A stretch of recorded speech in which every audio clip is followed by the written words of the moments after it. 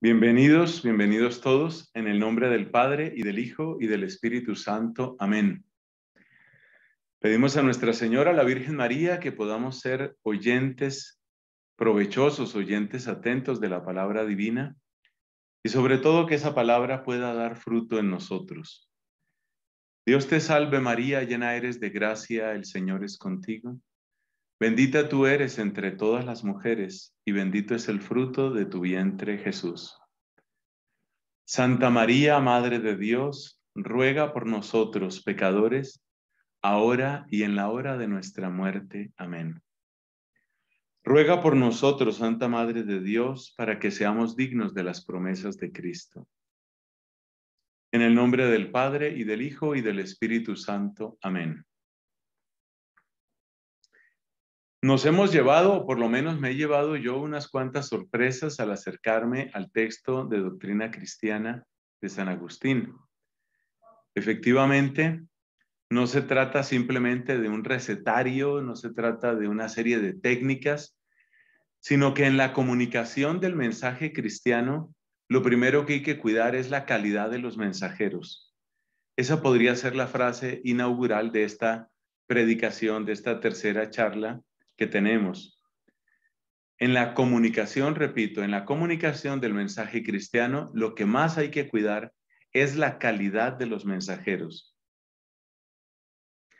Y por eso todo este libro primero, que vamos a terminar de revisar en esta charla con el favor de Dios, del primero de estos cuatro libros, en este libro primero de lo que se trata fundamentalmente es de poner las, las bases, poner bien los cimientos Cimientos que sirven para reconocer eh, cuál es la esencia de ese mensaje cristiano, cómo nos ha llegado a nosotros y también para evaluar lo que ese mensaje tiene en nosotros, es decir, eh, pues si somos de Cristo. Yo me acuerdo con motivo de la inauguración del año de la fe, uno de los últimos actos del pontífice Benedicto XVI, recuerdo que él eh, comentaba, él decía en su predicación, en la homilía de inauguración del año de la fe, decía, no demos la fe por descontada, no demos la fe por descontada. Y eso creo que se puede aplicar a muchas cosas de nuestra vocación, de nuestra vida consagrada, nuestra vida entregada a Dios. Y por eso conviene que nos revisemos, pues para eso, entre otras cosas, nos reunimos en retiro espiritual. Repasemos un poco lo que tenemos hasta este momento. Em, ¿qué, es lo que tenemos hasta este momento? Pues eh, a veces cuesta trabajo encontrar el, hilo conductor, pero en esencia hay un principio fundamental y ese principio es el de la felicidad. Em, me encontraba aquí el, texto original, el texto en latín, y en el número tercero de doctrina cristiana dice, res ergo alie sunt quibus fruendum est, alie quibus utendum. El tema está en ese fruendum, en, las cosas que son para, para disfrutar, las cosas que son para gozar. Y la definición de las cosas que son para gozar eh, es que son las cosas que nos hacen felices. Es decir, el, el gran criterio el gran criterio que está detrás de todo esto es el tema de la felicidad. Ese, es lo que está detrás de todo. Es el tema de la felicidad. Y en la felicidad hay fines y hay medios. Las cosas que son eh, propiamente fines son de las que gozamos. Las cosas eh, que nos sirven de medios para llegar a esos fines son las cosas que usamos. Es decir, son de algún modo camino para llegar a esas cosas. Eso es lo que, lo que encontramos. Y luego pues viene la pregunta de, de dónde están esas cosas, dónde está esa, esa felicidad plena, en dónde podemos encontrar lo que de verdad se puede gozar. Y por eso la frase clave que ya veíamos, la realidad que hemos de gozar, pues no es otra sino, sino la Trinidad. De eso es de lo que se trata. Y si nosotros, eh, y si nosotros eh, vamos a disfrutar de esa Trinidad, pues para ello contamos ante todo con que la sabiduría de Dios se ha dado a nosotros a través de la encarnación Y por eso es Cristo el camino que nos conduce hacia esa plenitud. O sea que hay una base al mismo tiempo antropológica y teológica en todo este discurso de San Agustín. Antropológica porque se trata de la plenitud humana en la felicidad y teológica porque se trata de cómo Dios se ha mostrado a nosotros y también nos ha dado a su Hijo Jesucristo. Hasta ahí íbamos y, pues la conclusión es que eh, hemos de centrar nuestra vida en, en aquello que es digno de ser gozado, donde está la plenitud, es decir, en Dios. Pasemos a la segunda parte de este libro primero. Asentar bien los fundamentos es el subtítulo que me he atrevido a darle a esto, la segunda parte. Entonces vamos con el doble precepto del amor. Comenta el santo, no hubo necesidad de dar un precepto para que el hombre se amase a sí mismo y también a su cuerpo. Lo que somos y lo que es inferior a nosotros, como pertenece a nosotros, lo amamos por la ley inviolable de la naturaleza, la cual también se promulgó en favor de las bestias, porque todas las bestias se aman a sí y a sus cuerpos. Restaba que se nos entregasen preceptos para amar lo que está sobre nosotros y lo que se halla junto a nosotros. Entonces, ¿cómo entra, cómo entra el, amor aquí? El amor entra al mismo tiempo como un deber y como una oportunidad. Es un deber porque se nos da como un mandamiento y es una oportunidad porque es nuestra capacidad de llegar a gozar. Recordemos lo que se dice del gozar. Gozar es encontrar aquello que, que es digno de amor, aquello, aquello donde realmente se experimenta el amor. Ese es el verdadero gozo. Entonces, el amor, el amor es obligación en el sentido de que es un mandato, pero el amor es también nuestra posibilidad, es también nuestro derecho. Se nos entregasen preceptos para amar lo que está sobre nosotros, ahí se va a referir ante todo a Dios y lo que se halla junto a nosotros. El evangelista dice, amarás a tu Dios y Señor con todo tu corazón, con toda tu alma y con toda tu mente, y a tu prójimo como a ti mismo. En estos dos preceptos se incluye toda la ley y los profetas. Pues esas son palabras de Cristo que aparecen en el Evangelio, las cita San Agustín en el número 27 de su libro primero. Entonces, en estos preceptos está nuestra posibilidad, está nuestra oportunidad y está también nuestro deber. Deber y derecho van juntos cuando se trata del amor. Y no puedo renunciar a amar sin perjudicarme, porque si renuncio a amar porque me parece que es un deber pesado, pues estoy también perdiéndome de amar, que era mi oportunidad de ser feliz. No puedo dejar de amar sin dañarme, no puedo dejar de amar sin, sin destruir mi meta propia. No puedo dejar de amar. Esto quiere decir que de algún modo toda la escritura nos ha sido dada como explicación, como exégesis del doble precepto del amor. Y por eso toda predicación debe tener como, llamémoslo así, como en su background, debe tener como en su, en su fondo, debe tener hay que llevar al, amor, hay que llevar al amor. Lo que decimos, lo que queremos es para llevar al amor, para llevar al amor a Dios y para llevar al amor al prójimo en razón de Dios. O sea que el gran criterio del misionero, del evangelizador, del catequista, del párroco, del rector de colegio, del confesor, el gran propósito es siempre, ¿cómo hago yo? ¿Qué tengo que hacer yo para que esta persona, para que este grupo de estudiantes, para que estos feligreses en la parroquia, para que en esta convivencia de profesores, ¿qué tengo yo que hacer? ¿Qué puedo yo hacer para que para que crezca el amor a Dios en estas personas y para que crezca su amor al prójimo? Toda la predicación, toda la vida de la iglesia va en esa dirección. Ahora bien, el amor puede desordenarse y por consiguiente, pues el amor tiene que ser ordenado a los hombres e incluso a los ángeles. Interesante lo que nos va a decir ahí. Ningún pecador debe ser amado en cuanto es pecador. A todo hombre, en cuanto hombre, se le debe amar por Dios y a Dios por sí mismo. Ahí está el orden del amor. ¿A qué llama él amar al pecador en cuanto es pecador? Pues es amar al pecador y dejarlo en su pecado. Eso es, es decir, como si eso no importara.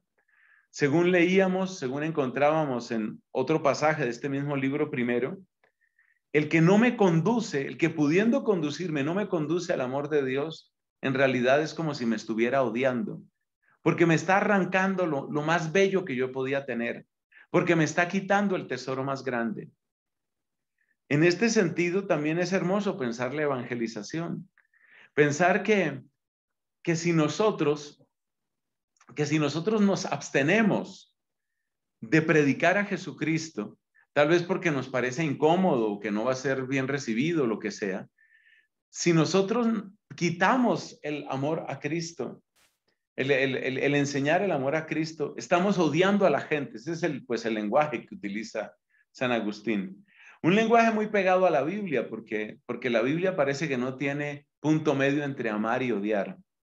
De tal modo que el, el, deber nuestro es siempre llevar al amor, y si no estamos llevando al amor, de algún modo estamos dando demasiado poco y estamos, estamos odiando, estamos destruyendo la felicidad más grande de una persona.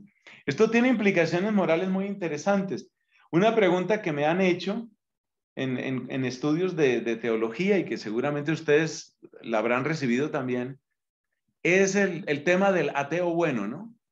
Entonces le preguntan a uno, bueno, pero, pero si un ateo es, es, bueno, entonces mm, se salva o se condena o, o, qué pasa con el, con el ateo bueno. ¿Qué pasa con el ateo bueno?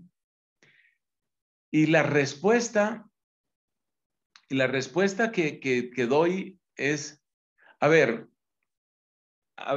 el ateo bueno. ¿Por qué llamamos buena a una persona? Pues por los bienes que hace. Entonces, ¿en qué consiste? Estoy tratando de razonar en la línea de San Agustín. Entonces, ¿en qué consiste? ¿En qué consiste que una persona es buena? Pues en los bienes que hace, los bienes que trae, que permite, etcétera. Si los bienes que la persona hace son bienes inferiores, pues estamos hablando de un amor inferior. Si los bienes que la persona hace son bienes mayores, pues estamos hablando de un bien mayor o de un amor mayor o de una bondad mayor. Entonces, si una persona, por ejemplo, ayuda con cosas materiales y trata con todas sus fuerzas de impedir que la otra persona crea en Dios, a través de la burla, a través de la manipulación, a través de la difamación. Entonces, esta persona está haciendo dos cosas. O sea, no estoy hablando solamente del ateo neutro, neutro, estoy hablando del ateo, vamos a llamarlo el, antiteísta, como alguna vez se autodefinió Richard Dawkins, el famoso ateo, este biólogo evolucionista británico, que ha escrito tanto en contra de la fe. Estoy hablando del antiteísta. Entonces, una persona dona millones de pesos para que haya agua potable en algún lugar y al mismo tiempo esa persona hace todo lo posible para que la gente no crea en Dios. ¿Cómo evaluar eso? Pues, a ver, está claramente está haciendo un bien, un bien que es grande, un bien que es importante con lo del agua potable, pero está causando un mal terrible en la medida en que está tratando de impedir la fe en Dios, está tratando de cerrar la puerta de la fe en Dios. Porque resulta que hay una jerarquía en los bienes y, por supuesto, pues todos son bienes. El tener agua potable es un bien, el tener salud es un bien, el tener educación es un bien. Y algunos son más urgentes que otros y unos son mayores que otros. Pero aquella persona que está cerrando la posibilidad de que se conozca a Dios, está privando del bien mayor. Entonces, el ateo que simplemente hace bienes materiales y no se mete para nada con ninguna cuestión de religión o con ninguna cuestión de fe, bueno, ese es un caso. Pero el caso es que muchas veces, por, por el ejemplo que dan, por las actitudes que tienen, por las palabras que dicen, por los proyectos que impulsan, este tipo de personas ateas, pues, no son solamente ateas, son antiteístas. Entonces, si te estoy haciendo un bien, pero te estoy negando un bien mayor, solo Dios podrá juzgar. O sea, a nosotros no nos corresponde decir aquí, se condena y se tiene que ir al último infierno. Ese no es nuestro papel, eso no es lo que nos toca hacer. Pero yo creo que este tipo de razonamiento es interesante, sobre todo para recordar que nosotros como seres humanos estamos llamados a bienes mayores. Y así como es malo dejar de hacer un bien pequeño, pues es mucho peor hacer, dejar de hacer un bien mayor o impedir un bien mayor. Y lo mismo hay que decir eh, de la labor pastoral. Por ejemplo, una persona, una persona está en su pecado y yo la trato con cariño y con misericordia y con gran acogida. Ese es un bien, ese es un bien, es un bien emocional, es un bien psicológico, es un bien afectivo, es un bien social. Pero si mi actitud, si mis palabras confirman a la persona en su pecado, pues estoy hablando como, como un odontólogo de estos endodoncistas que operan los abscesos y problemas graves en, en, en la dentadura, en los huesos, en las encías. Imagínate el endodoncista que es sumamente cordial contigo, queridísimo y te abraza y te da palmada en la espalda y de todo, pero no te cura tu absceso. Yo no sé si tú estarías muy agradecido con él. Fue bellísima persona contigo, pero no te curó lo que él podía curar. Entonces, ese es el criterio que utiliza Agustín aquí.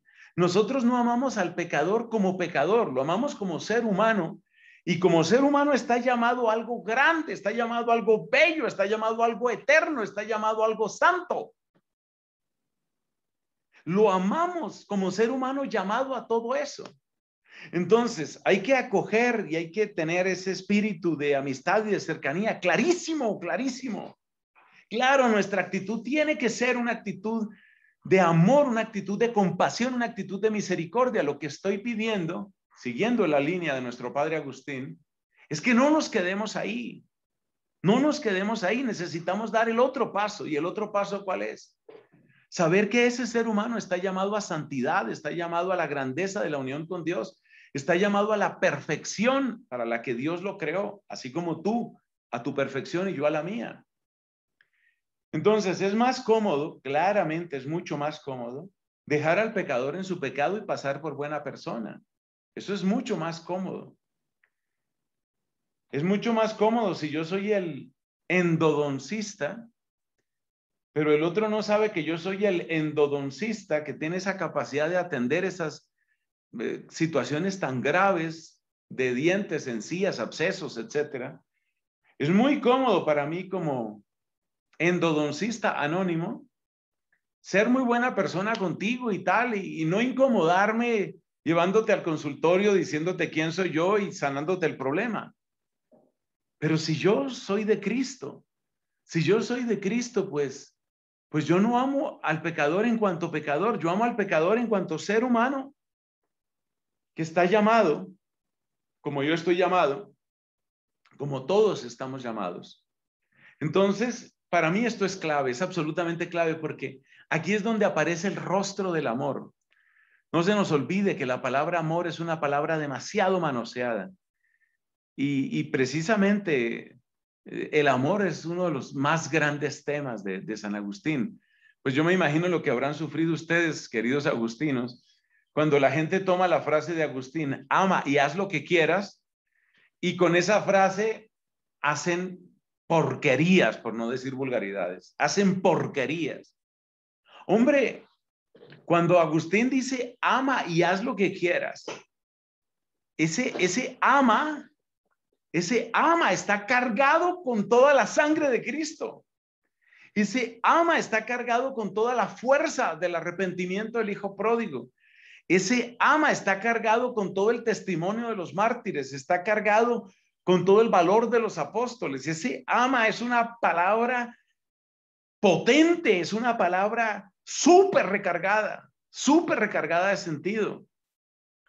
Volver esa palabra simplemente una moneda barata que sirve para cubrir cualquier gusto, placer o sentimiento, es una ofensa a Dios en primer lugar, pero también es una ofensa a San Agustín. Entonces lo mismo pasa aquí con, con lo que significa amor. Ningún pecador debe ser amado en cuanto es pecador.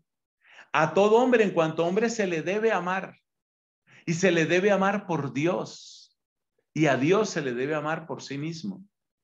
Es decir, el obispo de Hipona no deja, no deja los hilos sueltos. Todo está perfectamente amarrado. Su pensamiento es estructurado, bíblico y sólido. Felices los discípulos de San Agustín, de los cuales quiero yo ser uno. Felices los discípulos. Este es su nombre, esto está en el número 28 del libro primero de Doctrina Cristiana. Está perfectamente claro. No amamos al pecado, amamos al pecador, pero amamos al pecador en cuanto ser humano que es amado por Dios, que es llamado por Dios, por el que Dios entregó a su propio Hijo. Y como Dios sigue diciendo, debe ser amado más que todos los hombres, cada uno debe amar a Dios más que a sí mismo. Cada uno debe amar a Dios más que a sí mismo. Luego se plantea el tema, pues bonito, digamos, por la digamos, eh, por, lo, completo de su teología, se plantea el tema también de lo que sucederá con, con otros casos de, de amor, incluyendo el de los ángeles. De todos los que pueden gozar de Dios con nosotros, amamos a unos a quienes favorecemos, amamos a otros que nos favorecen, amamos a algunos de quienes necesitamos auxilio y al mismo tiempo atendemos a su indigencia. Amamos por fin a otros, a quienes no somos de ninguna utilidad, ni tampoco la esperamos de ellos. Ahí considera todos los casos, ¿no? Está hablando de, del, del amar y del ser útil. Entonces, algunos nos hacen bien, a otros les hacemos bien, en otros casos es mutuo, en otros casos no les podemos hacer ningún bien, en otros casos ellos no nos pueden hacer ningún bien. Pero en todos los casos termina diciendo, pero debemos querer que todos amen a Dios con nosotros. Ese es el propósito de la evangelización. Ese es el propósito de nuestras obras apostólicas. Ese es el propósito de la amistad que tenemos con las personas de las que somos amigos. Debemos querer que todos amen a Dios con nosotros y ordenar a este único fin todo el bien que les hacemos o que ellos nos hacen. A mí me parece que este es un criterio pastoral así, gigantesco, impresionante. Es un criterio pastoral bárbaro, como dicen los argentinos. Querer que todos amen a Dios con nosotros y ordenar a este único fin todo el bien que les hacemos o que ellos nos hacen. Piense usted, por ejemplo, lo que es pasar nuestros apostolados por este filtro. No para cerrar nada, yo no, no tengo que hablar de eso, ni, ni es mi tema, ni, ni es lo que se está discutiendo. El tema no es cómo cerrar o abrir, no, el tema es cómo encaminar nuestras obras, encaminar nuestra vida, nuestras comunidades locales y nuestras obras. Querer que todos amen a Dios con nosotros, ordenar a este único fin todo el bien que les hacemos o que ellos nos hacen. Entonces yo me atrevo a soñar, tal vez soy un soñador, yo me atrevo a soñar lo que sería esto, ¿no? Yo me atrevo a soñar lo que sería, y, hacia allá tenemos que caminar, pues una parroquia en la que se está pensando, por ejemplo, eso, un santuario. Este tiene que ser un lugar donde, donde la gente se, se empape del amor de Dios, salga amando a Dios. Tenemos una universidad, excelente. Entonces, ¿para qué tenemos los planes académicos que tenemos? ¿Para qué? La gran pregunta que ha de hacerse el rector de una universidad es esa. ¿Cómo puedo hacer yo que esta carrera, qué sé yo, derecho, psicología, economía, sociología, cómo puedo hacer yo para que esta carrera, para que estas personas con su preparación estén más capacitadas para amar a Dios? Otro santo que tenía una preocupación semejante es San Buenaventura, que tiene su obra famosa, ¿no? Reductio omnium artium in deum, que se puede traducir reconducción de todos los oficios hacia Dios y de todos los conocimientos hacia Dios. Entonces, el rector de la universidad y sus directivas, sin dejar calidad universitaria, Ministerio de Educación, situación económica, pandemia y todo lo demás, han de preguntarse, ¿aquí qué hay que hacer? ¿Qué hay que hacer aquí? Para que cumpliéndose los objetivos menores, no dejen de cumplirse los objetivos mayores.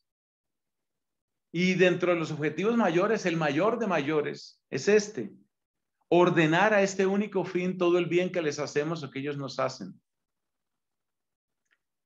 Si con razón se llama prójimo, a quien debemos prestar o, de quien debemos recibir el ministerio de la misericordia, es claro que en este precepto por el que se nos ordena que amemos al prójimo, están incluidos los santos ángeles, de quienes recibimos tantos favores como es fácil advertir en infinitos pasajes de la Divina Escritura. En ese número 33 del libro primero, em, Agustín se apoya para definir qué significa la palabra prójimo. Se apoya pues en la pregunta que le hizo el escriba a Cristo, ¿quién es mi prójimo? Y Cristo contó la parábola del buen samaritano. Entonces, para Agustín, la definición de prójimo es el buen samaritano. Por eso dice, a quien debemos prestar o de quien debemos recibir el ministerio de la misericordia. Y en ese sentido, pues también son prójimos nuestros los ángeles. Y también junto con ellos alabamos, junto con ellos adoramos a Dios. Como se nota muy especialmente en la liturgia, cada prefacio de la Santa Misa siempre invita a los ángeles a que amen, adoren y alaben a Dios junto con nosotros. ¿Cómo hemos de recibir el amor de los que nos aman? Si el gozo mutuo descansara en nosotros, fíjate cómo reaparece una y otra vez el tema de gozar, ¿cierto? Cómo aparece una y otra vez el tema de el tema de la felicidad. Finalmente lo que aparece es eso, el tema de la de, de, la felicidad. Ese verbo eh, fruor, pues es, eso, es, es el disfrutar, es el gozarse. Entonces dice, si el gozo descansara en nosotros, colocando la esperanza de la felicidad en el hombre o en el ángel, nos quedaríamos atascados en el camino. Y esto es lo que el hombre y el ángel soberbios quieren adjudicarse. Entonces el hombre soberbio quiere presentarse como fin de todos los esfuerzos y razón de ser de todos los trabajos de otros hombres. Como quien dice, lo propio de la soberbia es trabajen para mí. Esto es lo que el hombre y el ángel soberbios quieren adjudicarse, alegrándose cuando alguno pone su esperanza en ellos. El ángel soberbio, o sea, Satanás, también quiere eso, quiere ser adorado. Su último negocio con Cristo en el pasaje de las tentaciones es ese. Todo esto te daré si postrándote me adoras. Él quiere ser el término del camino. El hombre soberbio quiere ser el término del camino. El ángel soberbio quiere ser el término del camino de los hombres, es decir, vengan a mí y adórenme a mí. Esto es lo que el hombre y el ángel soberbio quieren.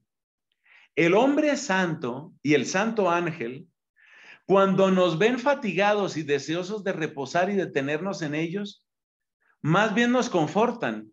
Y a los confortados así, los obligan a continuar el camino hacia el bien, a donde llegando seremos felices gozando con ellos. Es el tema de la felicidad. Nosotros como evangelizadores somos servidores de la verdadera felicidad. Escriba esa frase que le conviene. Somos servidores de la verdadera, de la auténtica felicidad, la que solo se encuentra en Dios. Eso es ser un evangelizador, ser un servidor de la auténtica felicidad. Hay pasajes de la Biblia que nos recuerdan esto brevemente. Recordemos cómo en la curación de aquel paralítico que estaba junto a la puerta llamada Hermosa, la gente queda asombrada, la gente de Jerusalén queda absolutamente asombrada.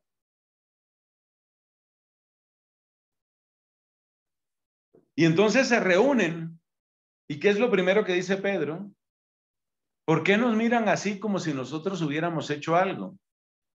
Si éste se presenta delante de vosotros sano y en pie, es por el nombre de Jesús Nazareno, a quien vosotros crucificasteis. Entonces lo que hace Pedro es aprovechar la ocasión para llamar al arrepentimiento, la conversión y el discipulado a toda esa multitud. Pero él no se queda con nada, no se queda con nada. ¿Por qué nos miráis así como si hubiéramos hecho algo? Y también recordamos lo que le sucedió a Pablo y un compañero suyo por allá en una de esas ciudades de Asia Menor, de la actual Turquía donde querían ofrecerles un sacrificio, porque decían que Pablo era Hermes y que su compañero, que no me acuerdo ahora si era Silvano o era Bernabé, era Zeus. Y entonces los sacerdotes del templo venían a ofrecerles guirnaldas y a ofrecerles sacrificios. O sea, la oportunidad estaba dada para que los adoraran. ¿Y qué es lo que hacen estos apóstoles. Nos dice el evangelista Lucas en su obra, en sus Hechos de los Apóstoles, dice, abriéndose a paso con dificultad entre la multitud, gritaban diciendo, somos hombres como vosotros. A nosotros no se nos adora.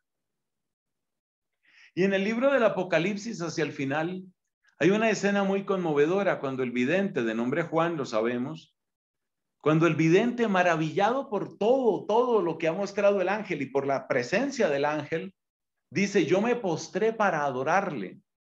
Y el ángel lo impidió diciendo, no, yo soy criatura como tú, a Dios debes adorar. Ejemplo de esto también tenemos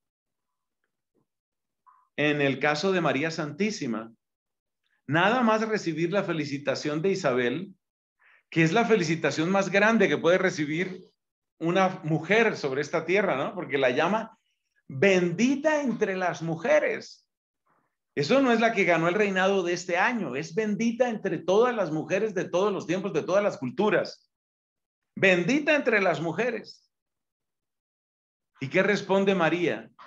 Ella no se queda con nada. Proclama mi alma la grandeza del Señor. Se alegra mi espíritu en Dios, mi Salvador.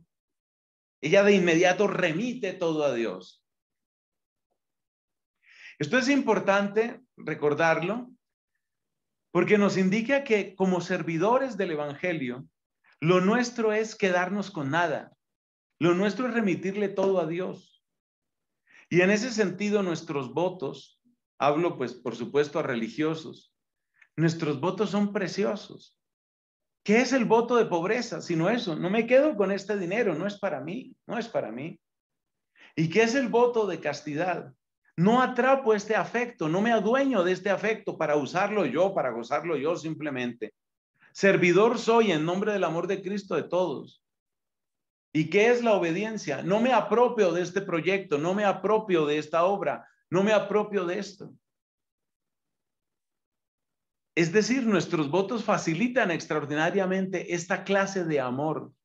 Este amor que por una parte quiere incendiar a todos en amor, pero luego no quiere que esas llamas se queden en nosotros, sino que asciendan junto con las nuestras, solamente para el Señor. De eso es de lo que se trata.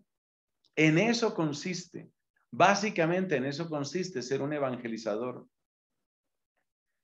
Yo quisiera decir aquí una palabra sobre el riesgo en el que estamos debido a la cierta popularidad que se puede tener con los medios actuales y en particular con las redes sociales. No es un secreto para ustedes, amados hermanos, que hemos visto fracasar en el sentido de hundirse vocaciones, vocaciones bellas. Las hemos visto hundirse. ¿Por qué se han hundido? Bueno, solo Dios sabe la última verdad. No vamos a pretender aquí que tenemos la información completa. Pero es innegable el papel que ha tenido la popularidad en esto. Porque un gran riesgo cuando somos muy populares o cuando somos muy importantes o cuando tenemos un cierto prestigio Es que empezamos a moderar nuestro lenguaje para no lastimar a nadie, para no perder la popularidad, para no perder el prestigio, para no perder la influencia, para que no piensen mal de nosotros, mal en el sentido de que somos anacrónicos o demasiado conservadores o cosas parecidas. Entonces, ¿en qué caemos? ¿En qué solemos caer? Pues en cosas terribles. Porque se empieza primero por eso, por dejar de hablar de los temas que son incómodos, los temas que no son populares, los temas que podrían producir rechazo. Entonces empezamos a autocensurarnos. Y después empezamos a hacer la danza de la tolerancia, porque eso da, da popularidad, ¿no? Da popularidad. Yo soy un, yo soy mente abierta, o sea, no soy uno de esos cerrados, recontracerrados que andan por ahí, no, yo soy mente abierta, soy tolerante. Yo pienso que todos pueden hacer más o menos lo que cada uno quiera. Eso parece que va a mantener la popularidad. Dando un paso más, entonces la persona empieza a atacar a la iglesia desde dentro. Y de esos sacerdotes, lamentablemente, hemos conocido varios. Y varios de ellos terminan retirándose, eso también lo sabemos.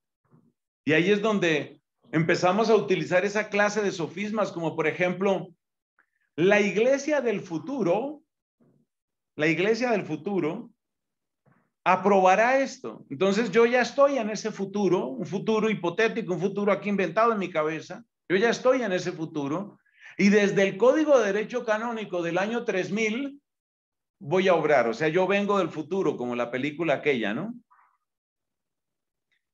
Hay una historia que me la contaron como cierta de un obispo aquí en Colombia que estaba haciendo visita pastoral en la parroquia y había cierto escándalo por un sacerdote que llevaba vida de hombre casado, o sea, ya la cosa era descarada. Y el obispo le dijo, bueno, pues yo he estado averiguando y pues sí, esas son las acusaciones que hay, esos son los hechos. Y este cura le dice al obispo, pues es que no se lo voy a negar, monseñor, eso es así. Pero así, con tranquilidad y mirando a los ojos, es que, es que eso es así, monseñor. Yo sé que la iglesia va a dar ese paso, pero mientras la iglesia da ese paso, yo ya me he muerto. Entonces yo me estoy anticipando a la iglesia del futuro. Uno se da cuenta cómo la razón realmente es sierva, no es diosa, como decían los ilustrados o los de la ilustración, sino que la razón en el fondo es sierva, la, la razón termina sirviendo para justificar. Entonces, todo esto lo comento en razón de las palabras que nos dice aquí Agustín. Es decir, que muy fácilmente uno quiere, quiere quedarse con la gente. Y ser evangelizador es ser como Cristo que murió desnudo. Esa desnudez de Cristo que indica el despojo de todo, incluyendo la mamá, la ropa, los discípulos, la dignidad. Ese absoluto despojo de Cristo. Yo creo que tiene que sacudirnos como servidores del Evangelio, porque en el fondo de ese despojo, lo que se está diciendo es que cualquier cosa que queramos atrapar, pues termina finalmente atrapándonos, termina haciéndonos daño a nosotros.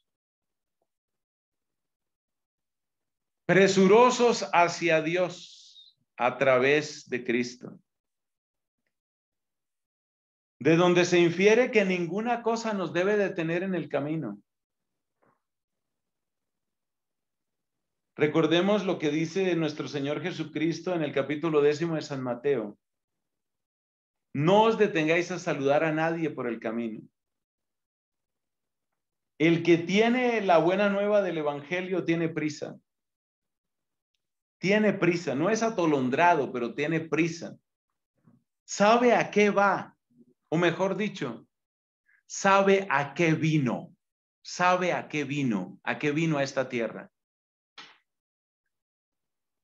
Ninguna cosa nos debe detener en el camino, ya que el mismo Señor, en cuanto se dignó ser nuestro camino, no quiso detenernos. Oiga esto tan bello no quiso detenernos, sino que pasásemos por él hacia adelante, para que no nos apegásemos sin solidez a una de las cosas temporales que él hizo y usó para nuestra salud, sino que más bien pasemos gozosos corriendo por ellas. yo les invito a que lean ese número 38 del libro primero, porque lo que está diciendo, el, el ejemplo que toma San Agustín es de la frase de San Pablo, donde San Pablo dice, si antes conocimos a Cristo según la carne, ya no es así. Y la interpretación que hace Agustín de esa frase de Pablo es, sí, la, carne, el misterio de la encarnación y la vida de Cristo en esta tierra, pues fue para nuestra salvación. Pero incluso lo que Él hizo y usó por nuestra salud es como para pasarlo corriendo, en el sentido de que ahí no está todo. La gran revelación no está ahí, la gran revelación está en las otras palabras que utilizó.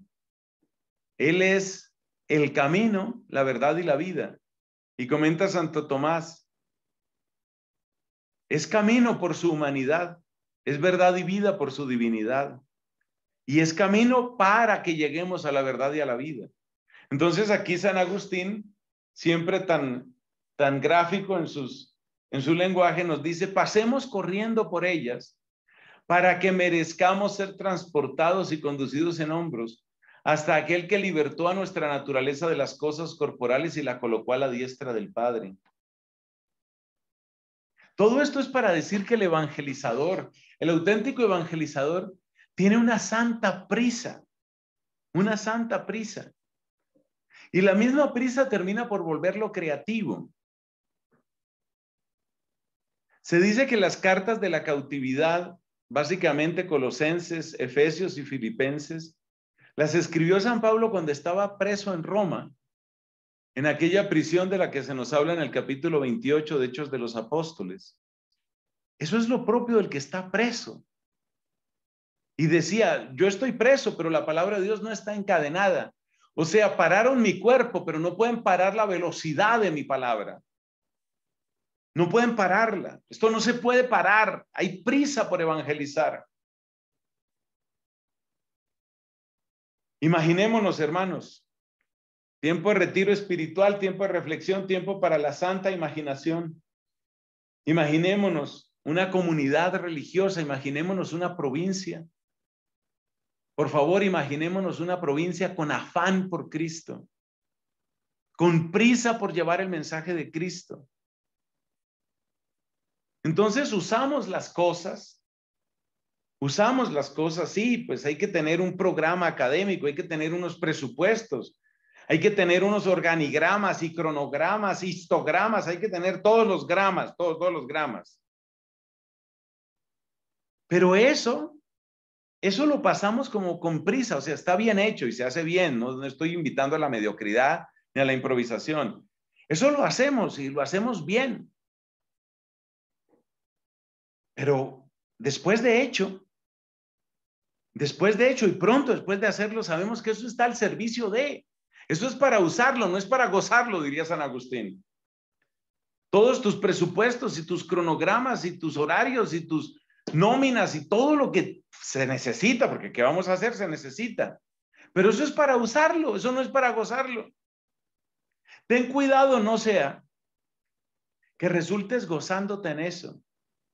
Ten cuidado, no sea que la trama burocrática y la maravilla organizativa y los planes de capacitación y los distintos seminarios y webinars atrapen tu corazón. Ten cuidado. Usamos los webinars y usamos Zoom, aquí lo estamos usando. Usamos los webinars y usamos Zoom y usamos cronogramas. Usamos, usamos, usamos. Pero gozarnos gozarnos. Nos gozamos en el Señor y nos gozamos pensando a quién le puede servir ese webinar o ese seminario o esa nueva carrera que se abrió en la universidad o ese nuevo esa nueva actividad lúdica en el colegio. Nos gozamos pensando que eso va a acercar corazones al Señor. Esa es la prisa que tenemos. ¿Cómo entra entonces la Sagrada Escritura en todo esto? Vamos llegando al final del libro primero. El compendio de todo lo expuesto desde que comenzamos a tratar de los objetos o cosas es entender que la esencia y el fin de toda la divina escritura es el amor. amor de la cosa, acuérdate que estamos aquí un poquito eh, queriendo cambiar esa cosa por realidad, ¿no? La esencia y el fin de toda la divina escritura es el amor de la realidad que hemos de gozar y de la realidad que con nosotros puede gozar de ella. La realidad que hemos de gozar o cosa que hemos de gozar, es que cosa me, fastidia tanto, ¿no? La realidad que hemos de gozar es Dios mismo. Y la realidad, porque también hay fastidia cosa, y la realidad que con nosotros puede gozar de ella son nuestros hermanos, los prójimos, nuestros prójimos. Es el amor. Entonces, la esencia y el fin de toda la divina escritura, el macro criterio, atención, macro criterio, macro criterio, hermenéutico, expositivo, para eso aprendemos griego, para eso estudiamos latín, para eso estudiamos hebreo, para eso, para eso, ¿para qué? Pues estudiamos griego, estudiamos hebreo, estudiamos todo lo que estudiamos para esto, para mejor amar a esa realidad última, Dios nuestro Señor, Dios Padre, Hijo y Espíritu Santo.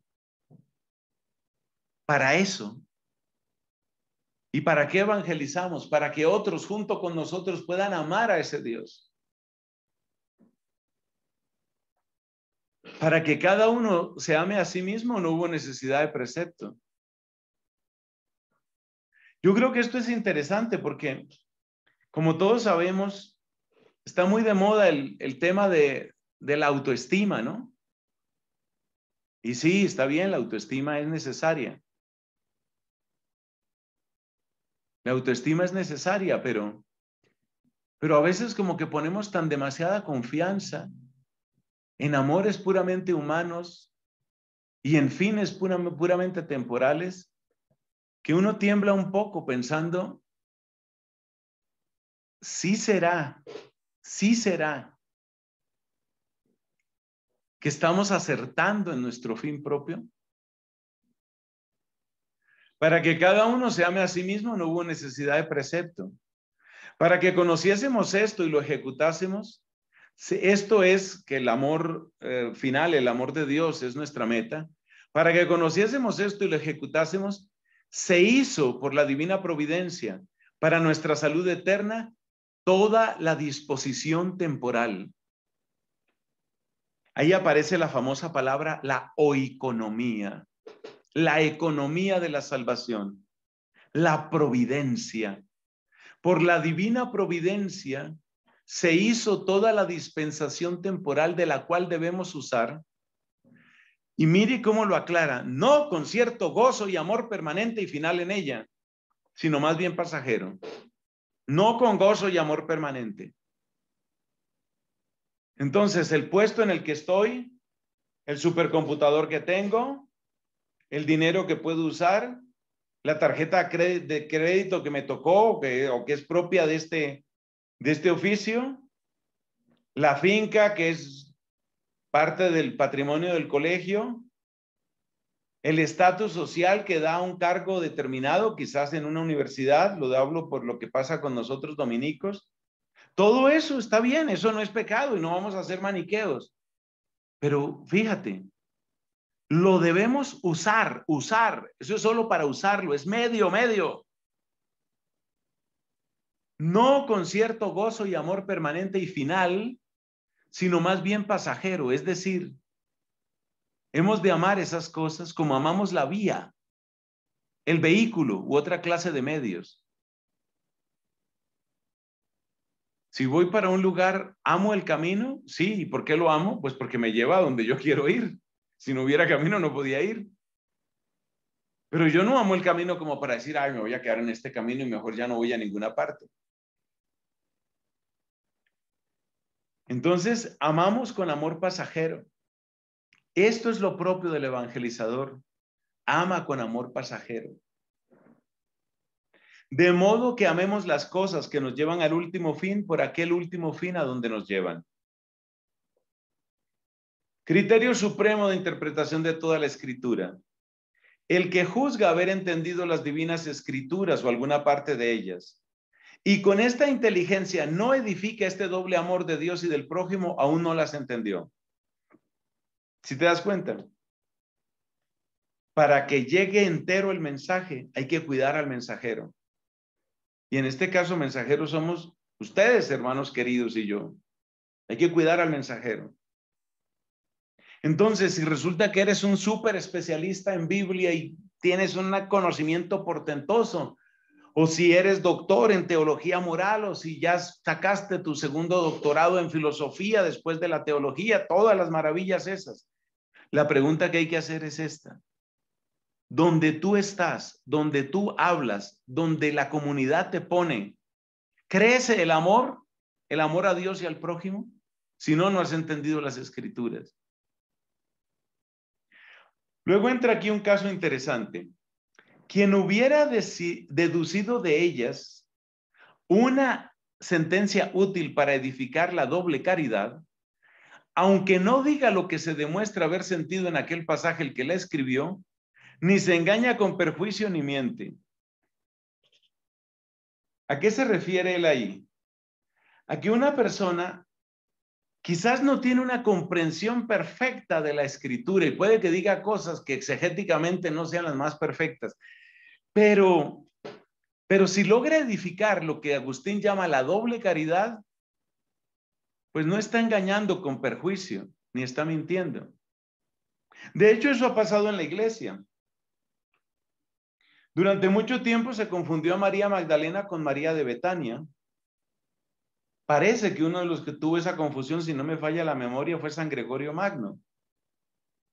Creía él que la mujer que derramó el perfume sobre los pies de Cristo y María, la de Betania, la que escuchaba sus pies, y María Magdalena, de la que expulsaron, expulsó Cristo los siete demonios, que todo eso era la misma persona.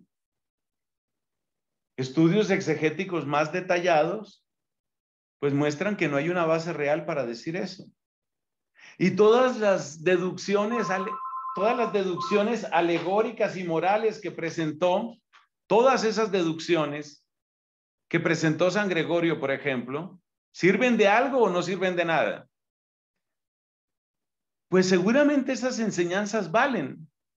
No tienen propiamente una base exegética perfecta, pero sí valen. Y en ese sentido no hay perjuicio ni hay mentira por parte de San Gregorio Magno. Ahora que no me esté equivocando yo y no haya sido San Gregorio Magno, pero eso fue muy frecuente. Si usted se da cuenta, hubo fiesta de Santa Marta, Marta de Betania, mucho tiempo, durante muchos siglos, y no había fiesta de Santa María de Betania. ¿Por qué no había fiesta de Santa María de Betania, o sea, la contemplativa, la que estuvo a los pies del Señor? Porque aquella confusión de que María de Betania era la misma María Magdalena entró por todas partes en la iglesia. Hoy sabemos que eso quizás no es así. Pero te das cuenta hasta dónde Agustín pone en primerísimo lugar, primerísimo lugar, que tiene que haber la doble caridad. Por supuesto, ya lo dijimos, doble caridad no es cualquier amor, ¿no? Cuando Agustín utiliza la palabra amor, es el amor repleto de sangre, el amor repleto de la sangre del cordero, ese es el amor. Amor no es cualquier cosa, por favor. Si alguno afirma temerariamente lo que no dice el autor a quien lee, incurrirá muchas veces en distinta sentencia que no podrá concordar con la del autor. Y si concede que es verdadera y cierta la divina escritura, no podrá ser verdadero lo que él afirmaba. Si a ese mal se le permite insinuarse en el alma, llegará a pervertirla. ¿Qué quiere decir esto? Que la escritura tiene poder sobre mí. Ojo con eso. La revelación tiene poder sobre mí. Por la fe caminamos a Dios, no por la visión de la verdad. Se tambaleará la fe si comienza a vacilar la autoridad de la divina escritura y si se tambalea la fe, la caridad languidece. Entonces está claro el esquema para Agustín. Está la revelación De la revelación viene la fe, nos dice San Pablo en Romanos 10, ¿no? Por la predicación viene la fe. Entonces está la revelación, por, de la revelación viene la fe, y la fe es la que nos muestra cómo hemos sido amados para que nosotros lleguemos a amar. O sea que el orden es revelación, fe y caridad. Si a la revelación yo le impongo mi interpretación, si a la revelación yo le impongo mi pensamiento, entonces, dice aquí, vacila la autoridad de la divina escritura. Es lo que de hecho está sucediendo en nuestro tiempo, cuando tantas personas dicen, ah, es que San Pablo hablaba así porque ese era un condicionamiento cultural. Sobre todo en aquellas frases de San Pablo que resultan antipáticas a muchos oídos de nuestro tiempo. Por ejemplo, en todo lo que tiene que ver con ideología de género, homosexualidad y eso. Entonces, la manera de no oír a San Pablo es buscar una interpretación de la escritura que concuerde con lo que piensa nuestro tiempo, con lo que piensa hoy el mundo. Y mira lo que ya nos anuncia San Agustín aquí. Se tambaleará la fe si comienza a vacilar la autoridad de la divina escritura. En el momento en el que yo le pongo a la escritura el filtro de que tiene que concordar con el espíritu de hoy, es decir, con lo que la gente piensa hoy y con lo que el mundo aprueba hoy, en el momento en el que yo pongo ese filtro, ya la autoridad de la escritura vacila.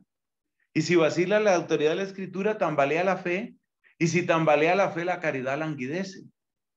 Siempre el criterio último es el amor, pero fíjate esta preciosa secuencia.